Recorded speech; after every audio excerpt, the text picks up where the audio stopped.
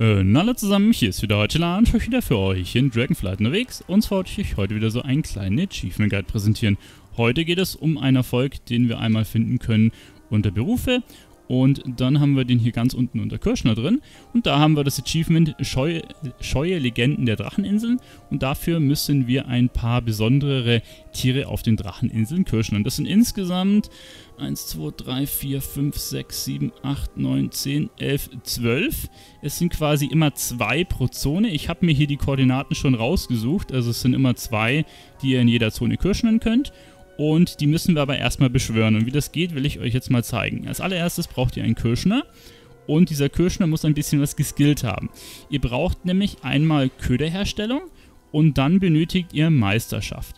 Und zwar müssen wir die Meisterschaft komplett ausskillen, denn wenn wir das gemacht haben, dann können wir an bestimmten Orten mit unseren Ködern ähm, seltene Gegner beschwören. Und das ist halt das Wichtige.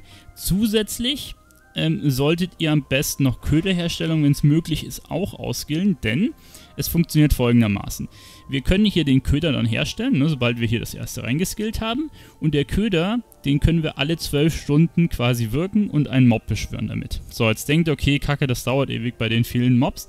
Ihr könnt diesen Cooldown zurücksetzen. Und zwar, indem ihr, wenn ihr den Cooldown habt, Mobs hat, dann setzt es den Cooldown immer um ein paar Minuten zurück. Und umso mehr ihr quasi in Köderherstellung auch reingeskillt habt, umso schneller setzt sich die Abklingzeit hier zurück. Wenn ihr quasi beides auf 40 geskillt habt, dann setzt ihr die Abklingzeit pro Mob um 20 Minuten zurück. Dann geht es relativ schnell, dass ihr quasi einen der Mobs beschwört, einen von diesen Rare Mobs, dann geht ihr an irgendeinen Spot, wo viele Mobs sind. Kirschen hat ein bisschen, 20 Minuten irgendwie Mobs oder 10 Minuten, je nachdem wie schnell ihr seid. Und dann könnt ihr den nächsten Köder platzieren. Wichtig für das kleine Achievement ist auch zu anzumerken, Ihr müsst nicht derjenige sein, der den Mob beschwört. Ihr müsst ihn bloß mit umhauen bzw. draufhauen einmal und ihn dementsprechend kirschen. Das heißt, ihr könnt euch mit ein paar anderen Leuten zusammentun. Jeder beschwört einen anderen Mob, dann haut ihr wieder ein paar kleine Viecher um, kirschnet die alle, alle hauen die Abklingzeit runter und ihr könnt die nächsten Mobs beschwören. Das äh, gilt dann auch für ein anderes Achievement, was wir hier unten haben. Das schauen wir uns aber dann nochmal separat an. Jetzt würde ich sagen, bleiben wir erstmal hier bei dem Erfolg. Gut, ähm, soweit dieses Vorgeplänkel. Dann gucken wir uns mal an, wie das genau funktioniert. Also Köder für scheue Kreaturen habe ich jetzt hier schon ein paar Mal hergestellt und ähm, das könnt ihr dann quasi hier im Tagebuch einmal bauen. Das haben wir hier unten. Köder für scheue Kreaturen. Und das kriegt ihr ja, wenn ihr quasi die Skillung so ausgewählt habt, wie ich es eben erzählt habe. Dafür brauchen wir hier so ein Fleisch. Das kostet immer H paar Silber. Also das ist sehr, sehr günstig. Und da können wir dann quasi ein bisschen was herstellen. Gut, ich habe jetzt das erste Teil hier. Und ähm, ich bin jetzt einmal in der Küste des Erwachens, hier unten auf den Koordinaten 44, 78. Und dort packen wir jetzt einmal das Ding hin. Und dann hoffen wir mal, dass ich den richtigen Gegner anlocke damit. Ob das, jetzt gucken wir mal, das müsste eigentlich der richtige Spot sein. Also das packen wir jetzt hin und jetzt warten wir mal kurz, ob sich hier irgendwas tut. Ah, da haben wir irgend so einen großen Drachen. Okay, der Drache ist auf jeden Fall schon mal ein Rare Mob, wie ihr hier seht. Und ähm, der hat 2,6 Millionen Leben, schon ein bisschen mehr. Mein Twink ist jetzt nicht ganz so gut equipped, aber ich müsste ihn damit totzergen können. Ich würde euch empfehlen, wenn es geht, eine Klasse zu haben, die halbwegs tanky ist, wenn ihr das Ganze alleine macht, weil diese Rare Mobs, wie gesagt, die haben halt schon ein bisschen Leben und sonst kriegt er halt ein bisschen auf die Mütze. Gut, ich hau den jetzt mal runter und dann sehen wir uns gleich wieder. So, das hat jetzt dann doch ein bisschen gedauert hier. Ihr seht, jetzt geht er gerade down und ihr seht, da haben wir dann einmal hier das erste Ding. Wir haben ihn getötet und jetzt können wir ihn einmal looten und kirschen. Also es gibt quasi ja zwei Achievements, ne, das hatte ich jetzt gar nicht erwähnt. Es gibt quasi ein Achievement, Scheue Legenden der Dracheninseln. Da müsst ihr einen von denen umhauen und ähm, dann gibt es quasi noch ein zweites, da müsst ihr dementsprechend dann alle von denen töten. Und wir gucken uns natürlich jetzt gleich alle an, ne? Das war jetzt halt nur der erste. Und ihr seht, ja, da, ich habe ihn gerade abgekirschnet. Eben hatte ich noch 12 Stunden und jetzt sind es nur noch 11, 14. Ne? Jetzt werde ich ein paar kleine Viecher quasi umhauen und dann geht so langsam der Cooldown runter. So, Dalla, dann zeige ich euch mal einen Spot, wo ihr die Abklingzeit ein bisschen runterkriegen könnt. Und zwar befinde ich mich jetzt hier unten bei den Koordinaten 81, 33 in der Küste des Erwachens. Und da sind relativ viele Drachen. Wichtig, ähm, nur die großen Drachen bringen quasi eine Abklingzeitreduktion. Seht ihr, ich habe 9 Minuten 26. Wenn ich den hier abbaue, 9 Minuten 5.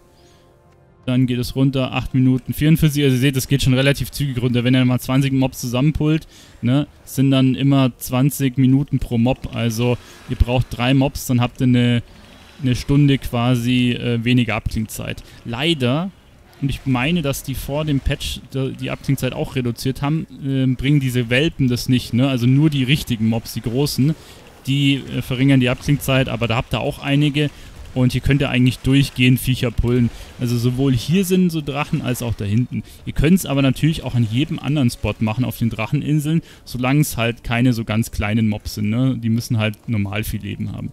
Und wenn er dann hier quasi alles äh, abkirschen hat, dann geht die Abklingzeit gut runter. Es sind sogar nur noch 6 Stunden, seht ihr? Also das geht relativ schnell, dann könnt ihr den nächsten Köder beschwören. Und was ich vorhin ja auch gerade äh, gesehen habe, man muss die anscheinend nicht mehr abkirschnern, die Elite-Mobs, sondern man muss die nur als Kirschner töten. Aber das sollte trotzdem zählen, wenn den jemand anderer beschwört. Sudala, die Abklingzeit haben wir jetzt runter. Und jetzt können wir das beim nächsten Spot einmal aufstellen. Wir sind immer noch in der Küste des Erwachens auf den Koordinaten diesmal 54, 58, hier in diesem Flussbett mit drin. Und da können wir dann unseren Köder hin platzieren. Und dann müssten wir wieder irgendein böses, großes, seltenes Viech anziehen. Jetzt schauen wir mal. Gleich schon mal in den Bären gehen, was hier kommt. das dauert immer einen Ticken.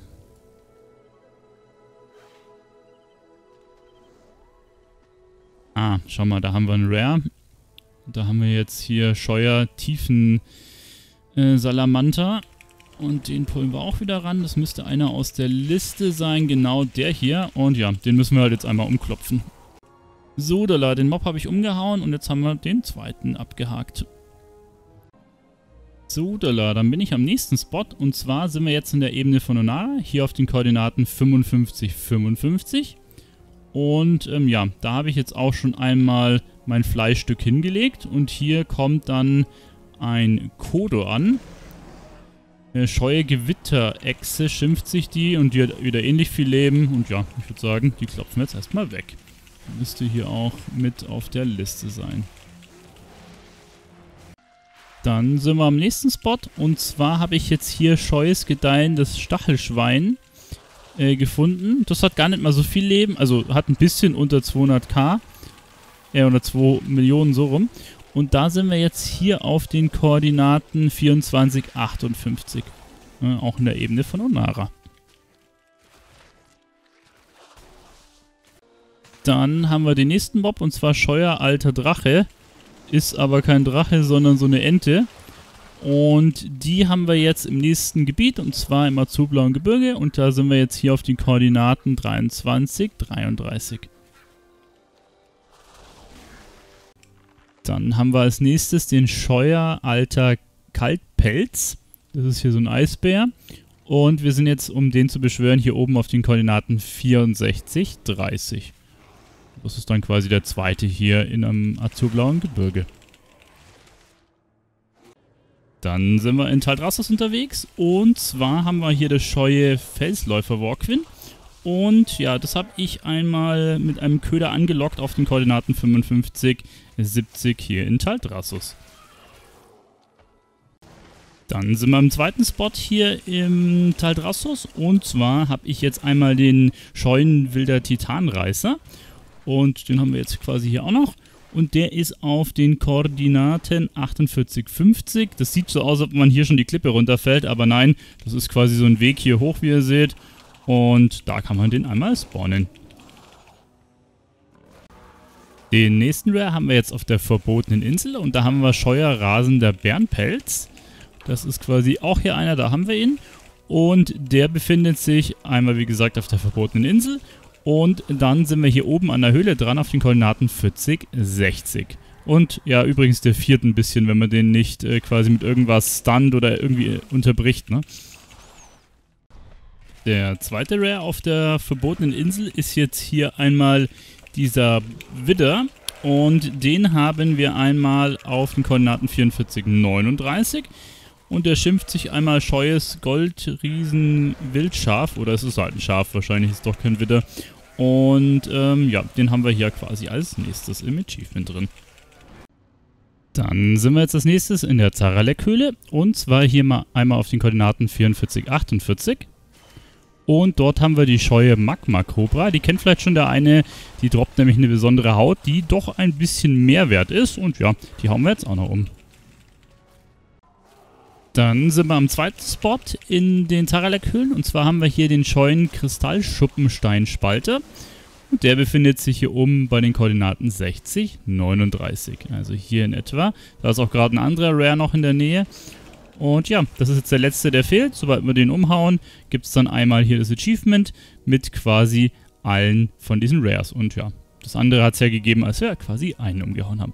Juti, das war es eigentlich mit dem kleinen Erfolgsguide. Als nächstes ähm, schaue ich mir persönlich jetzt noch äh, die normalen Viecher an. Und zwar gibt es da auch noch ein Achievement für. Da müssen wir nämlich nochmal 15 von den normalen scheuen Mobs holen. Aber das gucken wir uns in einem anderen Video an. Und ja, dann verabschiede ich mich an der Stelle. Euer Tila, bis zum nächsten Mal. Ciao.